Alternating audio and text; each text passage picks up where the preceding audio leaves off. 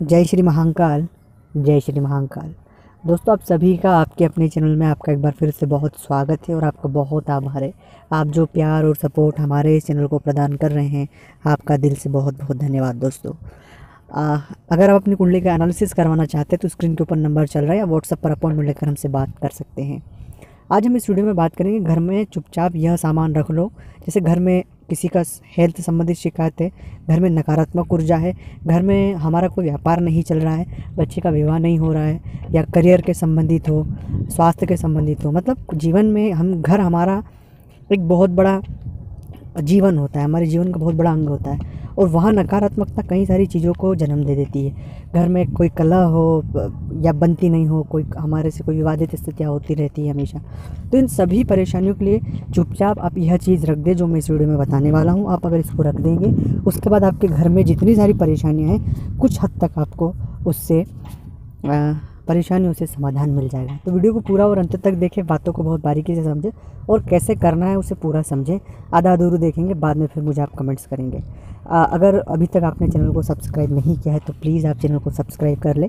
Comments में लिखे जय शिव शंभू हर हर महादेव। मतलब भोलेनाथ का कोई ना कोई एक नाम ज़रूर लिखें और अगर वीडियो को लाइक नहीं किया है तो लाइक ज़रूर करें और लाइक करने के साथ साथ वीडियो आप पूरा देखने के बाद कैसा लगा ज़रूर अपनी राय छोड़ कर जाए। कुंडली का एनालिसिस करना चाहते हैं तो स्क्रीन पर नंबर चल रहा है व्हाट्सअप पर अपॉइंटमेंट ले सकते हैं। सबसे पहली बात आपको करना क्या है? अपने घर में, चाहे वो किराए का घर हो, अपना घर हो, कोई सा भी घर हो, ये सभी चीज़ें पॉजिटिव है। कहीं भी कोई काला जादू या इस तरह का कोई टोटका नहीं है, ये बिल्कुल पॉजिटिव है।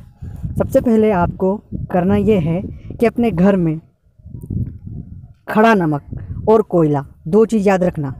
खड़ा नमक और कोयला कैसे रखना है, ये बात आप समझें कि या तो आप 100 ग्राम खड़ा नमक रख लें 100 ग्राम कोयला रख लें, दोनों एक बराबर इक्वलिटी में रखें। मतलब अगर सौ बार सौ ग्राम ये रख रहे हैं तो पचास सौ ग्राम ये रखो। अगर ढाई सौ ग्राम रख रहे हैं तो ढाई सौ ग्राम। आप ज़्यादा से ज़्यादा सौ ग्राम रखें, ज़्यादा से ज़्यादा रखने की कोशिश करें। मतलब सौ ग्राम, पाँच आधा किलो, एक किलो अगर आप अफोर्ड कर पाए तो।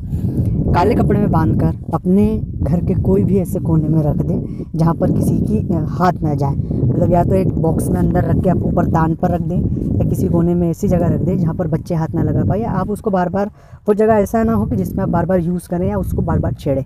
इसी जगह जब आप रख देंगे तो दोस्तों बहुत सारी चीज़ें जो हैं आपके जीवन में पॉजिटिव है अब इसको करने में दो चीज़ें और थोड़ी सी ध्यान देना है कि ये आपको तीन सौ पैंसठ दिन में बदलना है। जैसे कि आप आज रखेंगे तो अगले साल इसी दिन आप उससे बदल दें। मतलब एक साल में आप बदलने के बाद उसे या तो कोई नदी में प्रवाहित कर दें या कहीं ज़मीन में गाड़ दें।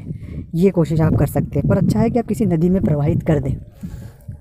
इसको करने से बहुत सारे जीवन में सकारात्मक बदलाव आएगा। दूसरा करना ये कि अपने घर में जितने भी सदस्य हैं, आप सभी एक साथ बैठकर ओम नमः शिवाय का जाप ज़रूर करें। दस मिनट, बीस मिनट ज़रूर करें, उसका भी बहुत आपको फ़ायदा मिलेगा। तो ये उपाय आपको कैसा लगा? अगर अच्छा लगा तो लाइक करना शेयर करना कमेंट्स करना। जय श्री महाकाल।